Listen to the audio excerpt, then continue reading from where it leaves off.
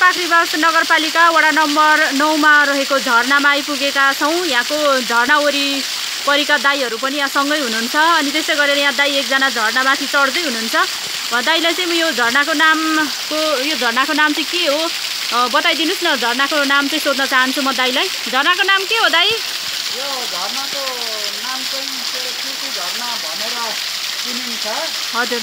यो चाहिँ लगभग नौ नम्बर वडाको तल मजुवा भन्ने ठाउँमा पर्छ ठाउँको थोरै हजुर। यो चाहिँ लगभग डेढ सय मिटर माथि हाइटबाट चाहिँ झरेको छ। यो झरनाको हाइटहरू नाप्नु भएको छ कि छैन? अहिलेसम्म कति फिट अग्लो छ के छ भनेर? यो झरनाको के अरे हाइट चाहिँ कति छ भन्ने कुरो यो ठिकै लगाएर चाहिँ नापिएको छैन। हजुर त्यस अनुमान हाम्रो जुन अनुमान चाहिँ डेढ सय मिटर चाहिँ छ जस्तो छ जस्तो यो झरनालाई चाहिँ पर्यटकीय रूपमा विकास गर्नको लागि चाहिँ के गर्दै हुनुहुन्छ तपाईँहरूले? पहलहरू केही गर्नु भएको छ कि छैन?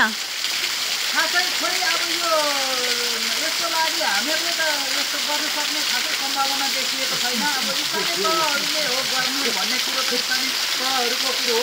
उहाँहरूले केही गरिदिए आवश्यक सहयोग गरिदिए यसलाई चाहिँ अलिकति विकास गरेर लाने भन्ने सोचहरू चाहिँ बनाएको छौँ। हाम्रो गाउँको सल्लाह त्यस्तै छ भाइहरूसँग ए। ल हुन्छ धन्यवाद हजुरलाई।